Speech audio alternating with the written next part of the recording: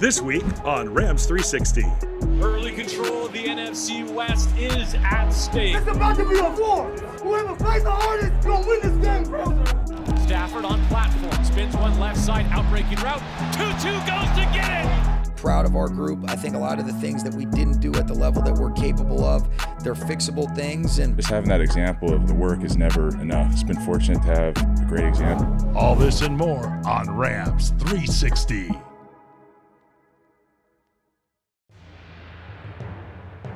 Control of the NFC West is at stake. Week two here in Inglewood at SoFi Stadium. It's about to be a war. Whoever plays the hardest, plays the fastest, plays the most together gonna win this game, bro. No, I got some dogs with me. What a measuring stick opportunity for the 2023 Los Angeles Rams after an uplifting triumph in the Pacific Northwest. Now they're home opener. Hey, y'all know what time it is. It's time to set the tone. Uh-huh. This is our house. Let's leave it right here. It's better than any electricity in the world. I'm telling you, this is it. But the message got through. There's not a single person down here smiling. This is 49er week and what this means to this football team. They're ready to play. Even the staff has game faces on. So they're about as ready to play as they can possibly be. Let's see what their best looks like against the Niners. Let's go, man. It's that time. It's that time. Locked in focus, laser focus all day. Come on, baby. Play fast, physical, and aggressive. Make your finish plays. Love you, too, too. Can this Rams defense bow up and force a field goal try?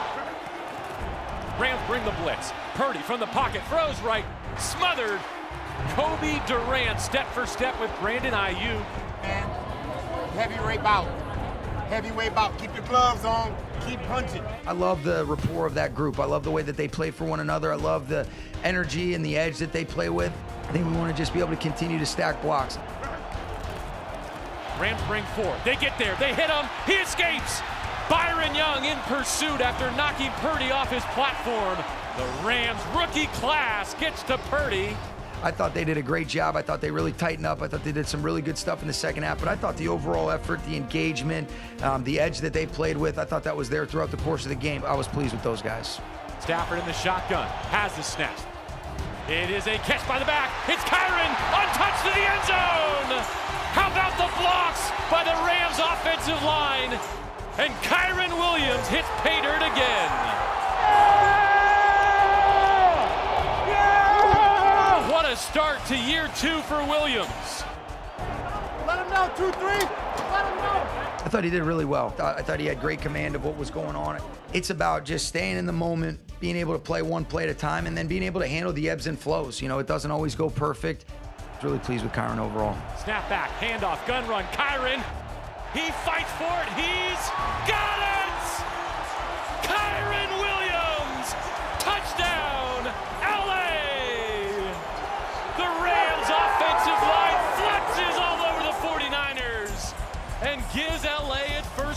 Week two. I love it, man. Bro, I know you do. I love it. I love it. Hey. So snap back from the logo here. Blitz coming. Stafford well protected. Throws left numbers. Complete Puka. Spins away from one. Inside the 40. Fighting for the 35. I love Puka Nacua. He did a great job. You know, he's tough. He's a physical competitor. I thought that showed up. Um, he continued to battle all the way through the end. I mean, he's the epitome of what we want to be as Rams. Puka's going to continue to improve and love Puka. Put it on the number of Puka Nacua. What a load. As he deals left side. Puka's got it. 50, 40, 35, and a first down LA. It's Nacua Matata. No worries. Warrior. Warrior. Like the resilience of this group. Love the look in these guys' eye. I like the way that they continue to be able to compete through the finish. And these are always learning opportunities for us. You know, some of these adversity presents opportunities.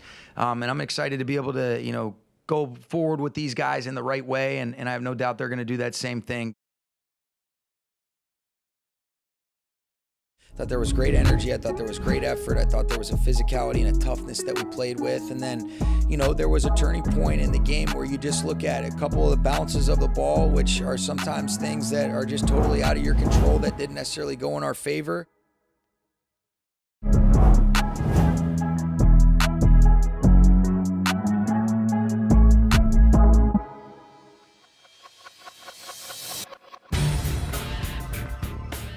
Well, good evening and welcome to this edition of the Coach McVay Show presented by Microsoft Surface. I'm JB Long, DeMarco Farr, the head coach of your Los Angeles Rams, Sean McVay. The Rams are one and one and looking forward to a Monday night trip to Cincinnati. Uh, Sean, not all losses are created equally. How do you differentiate between one like yesterday that maybe leaves most observers feeling like it was another step in the right direction for your Rams.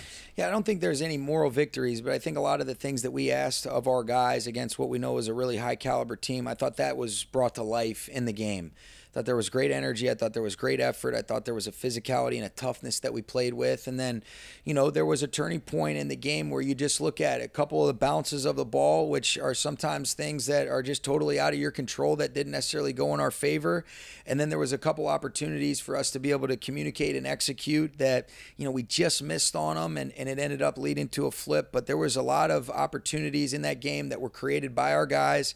You give credit to the 49ers, but I was proud of our group. I think a lot of the things that we didn't do at the level that we're capable of, they're fixable things. And um, I'm excited about being able to move forward the right way with this group. I, I, know they attacked the process the right way. I love working with this group. Just because we didn't get the result that we wanted, it doesn't change any bit of my feelings, my optimism, my excitement to go back to work. And that's how I felt right after the game. That's how I felt waking up this morning. And that's how I feel sitting here talking with you guys right now. Crazy. When the ball bounces away, you, you have to keep pursuing because eventually they'll start bouncing to you. Yep. You just got to be there for them. No question. Yeah. And that's where you do have to really commit to the process and – spend your physical and emotional energy on the things that you can control. And what are the things that we can fix? What are the things that we did at a high level that we want to continue to do and continue to replicate? But um, i loved a lot of the things that i saw and i'm encouraged by a lot of the things that i know we can do better. And uh, certainly i'm a part of that as well. I, I, I did learn something. The, yeah. the moral victory. It does have weight to it. You do feel better leaving that stadium because you took them to the wire but it's only as good until you start watching the film and then you start saying, "Dang, you might have let one get away." Yeah, I think you look at where those op- you don't ever want guys to press, you know, mm-hmm. but but you do want to understand where the execution opportunities within the framework of a game when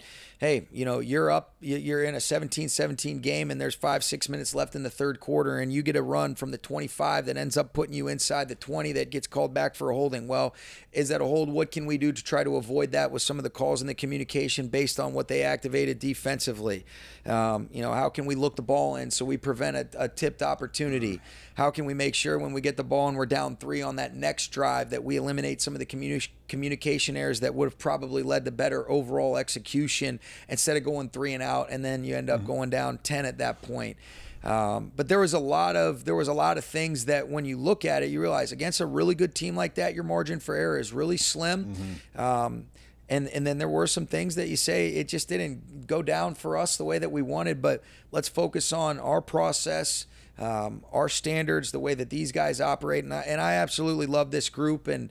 Like I said, I'm, I'm genuinely excited about moving forward and attacking the things that we can improve upon and looking towards getting ready for Cincinnati after a game as physical as that one. How are the Rams health wise looking forward to week three? Yeah, we're doing good. You know, guys came up, you know, guys were banged up a little bit, uh, but don't expect it to affect anybody's game status for the Cincinnati game. Joe Noteboom had to leave, got a good shoulder, you know, bruise. And that sounds bad. It was it was like a deep contusion that he ended up getting. And I thought Tremayne Anchrum came in, uh, stepped in, and did a nice job. But um, you know, for the most part, our guys battled. They competed. That was a real physical NFL football game. Two good teams going at it, and um, you know, you're going to have your typical bumps and bruises. But uh, fortunately, we'll have an extra day to be able to kind of get turned over and recovered this week. Yeah, contusion sounds better than bruise. Yes. Yeah, he's big, right? He is. He's yeah. a stud. Yeah, when you're 300 pounds, is contusion, not yes. bruise. That stuff. No, uh, but I thought the O line took another step. That's a really good front coming at you. And for the most part, Matthew Stafford looked almost the same as he did in Seattle, playing the same way, getting the ball out, scrambling. Yeah, I thought. Who he said he was a statue? Job. Yeah, I, I, thought I thought he played excellent. That's why it's unfortunate a couple of the plays. Um, you know, it's an unfortunate tip. I, I, thought he was seeing the field really well. I thought he had great command. I thought you know his movement, his understanding, his ability to progress. And you know, I, I, I can't say enough about how well he's played, how much he's elevated guys around him over these first couple weeks. But you know, minus a communication error uh, where where the the sack and, and you give them credit for you know creating those errors. Um, you know, the, and I and I just think the way that they play, I thought there was a couple guys that really shine bright. So really pleased with Jonah Williams. I thought mm. he did an excellent job uh, battling. Bobby Brown showed up. You know, Kobie Turner continued to show up. I, I thought really our front seven as a whole. Uh, Murch only played six snaps, but did a good job. I thought Hoyt and Byron Young from the edge Ernest and Rozeboom made their presence felt. You know, I, I, thought against a physical outfit, I thought our safeties did a nice job being able to get involved in the run fits, but I was pleased with our defense as a whole. A lot of pride in playing for their teammates. I mean, you know, those teams that you were a part of that were special, it was about not wanting to let your brother down or whether it be letting your teammates down or your coaches, but there was a connection. Um, there was a togetherness. When you break it down and you say family, it actually meant that. Yeah. Um, and I think that's what this group's got. Let's get to Cincinnati. yeah, they're they're saying it's hard to say whether Burrow's even going to play, so we'll leave that for another day and just leave it at the Rams. I hope he does. Let's yeah, go. We need to prepare for Joe Burrow. for Sean McVay, for DeMarco Farr, I am JB Long. Thank you for joining us for this edition of the Coach McVay Show. Not yet at 100, but soon. Presented by Microsoft Surface.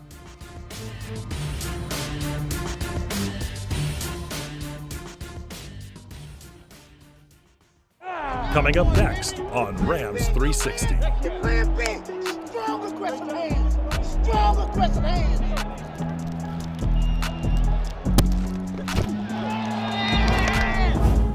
You are watching Rams 360. Go,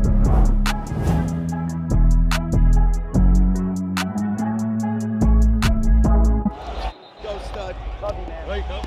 Here we go. Here we go. Two, two. Play fast, physical, and aggressive. Make your finish play. Lay, two, two. Let's go. Go.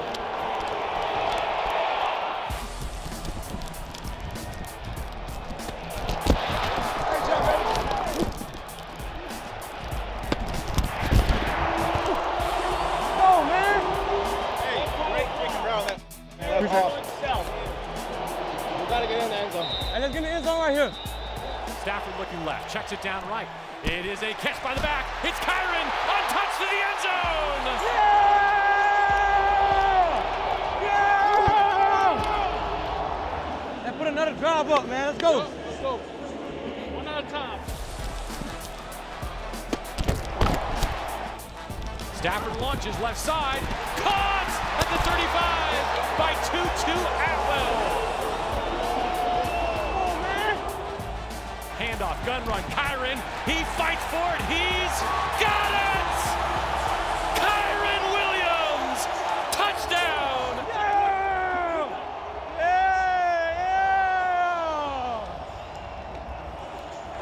Yeah! Hey, great catch, bro! Yeah. Cowboy, baby! You're playing big, little man! You're playing big! Strong aggressive hands! Strong aggressive hands!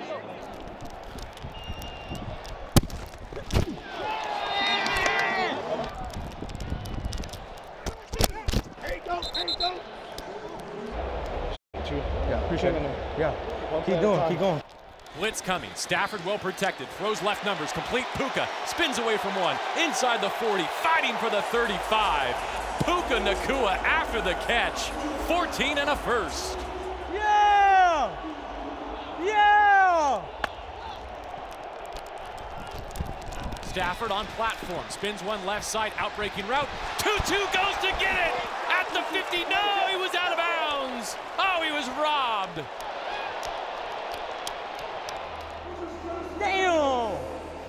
Hey, that was it right there. Good game. Good game. Yeah, appreciate you too, bro.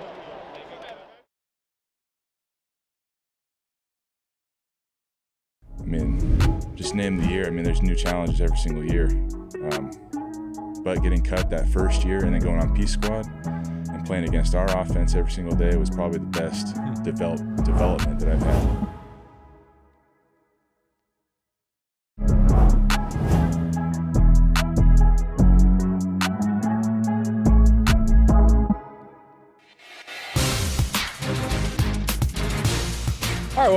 Welcome to this week's Rams Revealed. I'm your host, JB Long, and excited about our guest, a 28 year old defensive lineman who has been with the Rams since 2020. Can't wait yeah. to hear more about uh, his story, his incredible journey to Los Angeles and to the NFL. Jonah Williams making his first appearance. How are you? good. Yeah, thanks for having me. Thanks for stopping by. One thing that hasn't changed the ethos of dog work, and every time someone in your position group comes into these chairs, I want to know what that means to them and, and how they explain it to those who could never understand what it's like on the inside. Well, I'm super fortunate to have Aaron Donald, who's you know the best, hands down, just the best display of that dog work mentality, mm-hmm. and I have to give him a lot of credit for just setting that example of what it means to to live that life. I mean, looking at a guy who who does all the things that the team asks him to do with the lift and the, the meetings or whatever, and then you see the second you know the second level where he comes in after practice and does extra work or does extra things during the during the lift or you know the stories of what you know what he's doing at the at the house more stuff. So just having that example of like the work is never enough. Like there's just always more to do. And um just been fortunate to have a great example show me show me how to do that I love seeing someone like him side by side with someone like you and the different paths that you took to the same 100%. position group. Let's go back to Rocky Mountain High School. Is it yep. Meridian, Idaho? Yep. Only one offer coming out of, of high school. So let's talk about how we got there. You were a tight end until your junior season of high school? Yeah, I, I was all over. So I actually lived in Washington until the middle of my sophomore year and moved to Idaho, and I was playing a couple different positions. My body hadn't yet like grown. I mean, I was going into my senior year or during my junior year. I was about six foot, like 190. I was, I was smaller than I am now. I grew like four or five inches, 50 pounds my senior year. Hmm. So that's when I started. You know, the coach was like, "No, you're gonna go play D line." That was right before my senior season, though. So I'd been practicing tight end all summer, and they're like, "No, you don't." I don't know what it was. You know, I just wasn't good enough. I guess tight end. They're like, "Just go put them on D line, which they do with a lot of people that they don't want to have in the, in the, in the in their groups, whatever. I don't know, but they moved me to D line, so that's how I transitioned to it. I read a quotation from your defensive line coach. I believe his name is Todd Roberts from the, yeah. the Idaho Press. Said no one gave yeah. him anything. Jonah earned everything. How did you earn it from that point to where you became All State in just over a year's time? I just, I think, just going through the system through middle school and high school, I was never that guy on the team. Like I was always considered never good enough. And so complacency couldn't ever sit in. Like it just, I was never given anything. So um, finally, when I got that opportunity, uh, I got a little bit my junior year. I still didn't play that much football my junior year. Probably took five, ten snaps a game. And then um, my senior year, I got a starting role as D end. And I think it was just, I knew I was still young at the position. I didn't have a lot of technique, so it was more just have the motor, hmm. you know, just run and try as hard as you can, and um, it paid off. And the obstacles that you kind of overcome here just continue because right around the yeah. corner, once you're done with, as a collegiate, um, your pro day gets canceled by the pandemic, right? And, and, with it, probably the chance to get drafted, even though your measurables seem pretty good, uh, where, where, you were that spring. Your first offseason as a Ram is remote. Uh, I'm just looking on the list of things waived, released, claimed, failed physical, practice squad. Like you've been through just about everything 100%. the NFL has to offer someone in your position. As you look back, what was the hardest obstacle to overcome? Just there's too many of them. I mean, every year I know that first year coming in after after COVID was tough um, because I was expected to basically come in as a new body type, you know, an extra 20 pounds, and then play a new position at D line. Um, I played more five tech, six in college. Came in here, I was playing four, three, two. My my second year in the league, uh, Bobby Brown went down, so I had to play zero and shade, and so just I mean, it was tough. I mean, Andrew Andrew Whitworth was who I was going against in camp. Made me grow up quick with just all the savvy vet stuff that that he was doing. So, I mean, just name the year. I mean, there's new challenges every single year.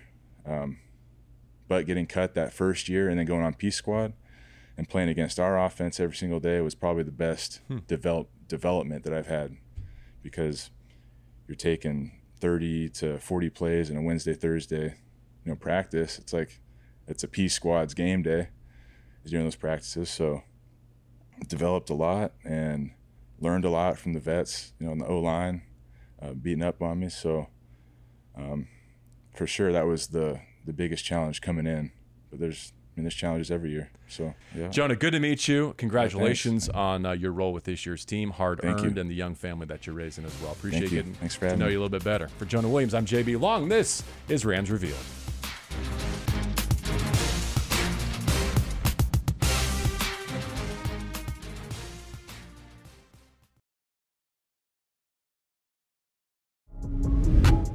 Coming up next on Rams 360.